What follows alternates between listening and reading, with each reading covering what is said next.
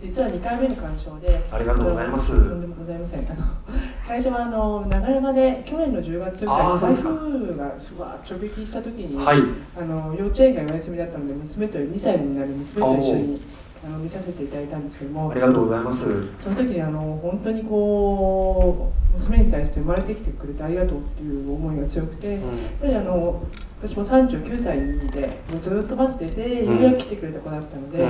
でその娘もあのまあ長いまあ2時間近くの映画で部分部分でしか、まあ、分からなかったんだけれども最後にこう出産のシーンがあって、うん。自分もああいうふうに生まれてきてでお母さんがなんか横でちょっとこの涙目になってるっていうその姿がすごくこう感動したってあの自分が生まれてきたことにお母さんがすごく喜んでるっていうのを目の当たりにした初めての経験だったのでそれ以来あの自分が生まれてきてくれたお父さんもお母さんも嬉しいんだっていうことが、やっぱり自分自身を大切にする経験あの、うん。思いにつながって、うん。もう今でもすよく言うんですよね、うん。なんかこう生まれてくる映画でお母さんは泣いてたとかいうのがすごく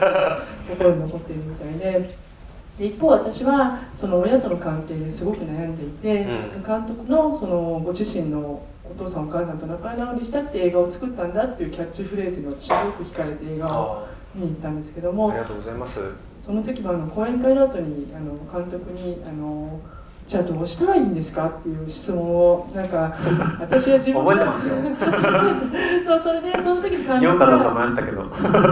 あのありがとうありがとうってお父さんにあ産んでくれてありがとうってお母さんにご両親に伝えてくださいって言われ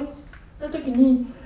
本当にそうなのかなと思って、うん。その会場で監督とお別れした後に電話をかけたんです、うん。でそれ唐突だったんですけど「ありがとう」って言ったら、やっぱり監督おっしゃったみたいにどこの宗教だっていう。ああもう、まあ、びっくりしましたけどうん。すごくやっぱり電話越しに泣いていて、で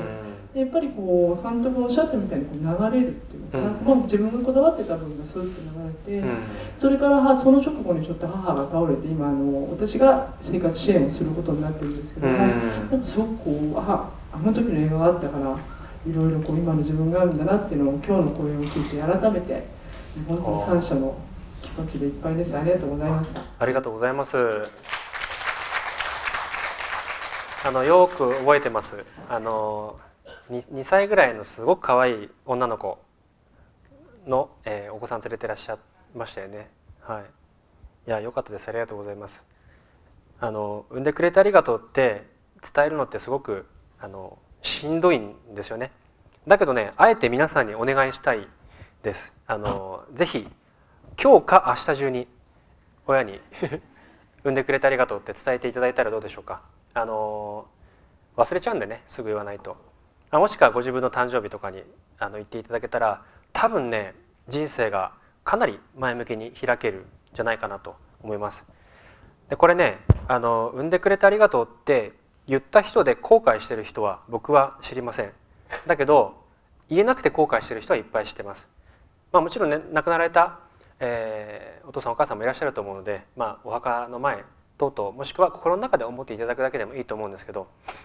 産んでくれてありがとうって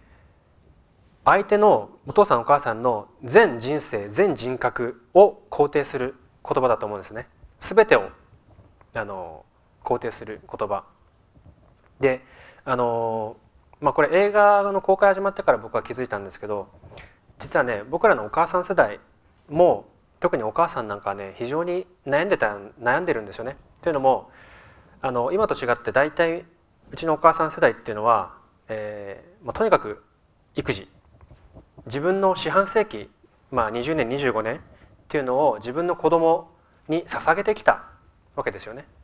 だけど、まあ、例えば企業選手だったお父さんは、まあ、会社の最後とかにはね「ありがとうございました」って言って花束もらってっていうのはあるんですけどお母さんってそういう機会ないんですよね全くお母さんで育児が褒められることもないやって当たり前って言われていて果たして自分が20年25年かけてきた？育児って正しかったのか良かったのかって悩まれてる方ってすごく多いと思うんですよ。だけど、まあ、そういった中でね、まあ、いろんな関係があったとしても産んでくれてありがとうっていう言葉をお伝えされるっていうことはあのお父さんお母さんにとっては非常にこれあのこれ以上ない嬉しい出来事だと思いますしおそらくあのまあそういうふうにお伝えいただいたことをご自分のお子さんもしいらっしゃったらお父さんあのお母さんあのおじいちゃんおばあちゃんにねこんな話をしたんだよっていうことをお伝えいただいてそれを家族の伝統にしていただけたらすごくあの嬉しく思います。多分皆さんも自分のお子さんにそう言われたら嬉しいと思うんですよね。なので、えー、まああの目の前で言うのはちょっとしんどいと思うのでまあもちろん手紙でもいいしメールでもいいし携帯でもいいしまあ人づてはよくないですけどね。あのなるべくそういった形でもあの伝える方法っていくらでもあると思うので是非お伝えいただけたらと思います。